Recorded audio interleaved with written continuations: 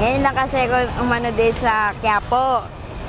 Kasi natatakot kasi ako ma yung mga daganan. First time ko lang.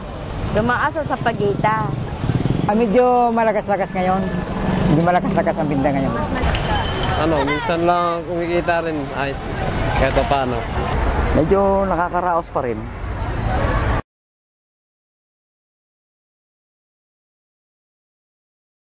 Ako naman ano eh, pag tuwing linggo nagsimba ko dyan eh, ng umaga.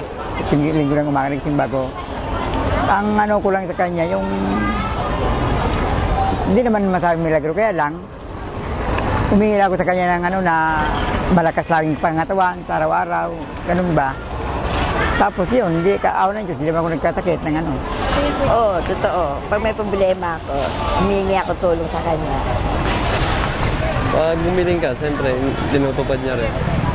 Isa lang nagawa niya milagro sa akin. Bigyan niya, binigyan niya ako ng asawa. Tsaka ng anak. Nag-asawa ako, hindi mo ka maniwala, 40 anyos na ako. Hiningi ko sa kanya, gusto ko magkaroon ng asawa na makakatuwang ko sa buhay. Karoon ako ng anak. Kagaya ng araw-araw na pamumuhay namin na ibinibigay niya. Na kumikita kami, kahit konti, nakakaraos kami. Yun, pang araw-araw namin. Lahat naman kasi araw-araw may milagro, minuminuto may milagro sa buhay natin eh. Makakakilala ka na ibang tao, milagro na eh.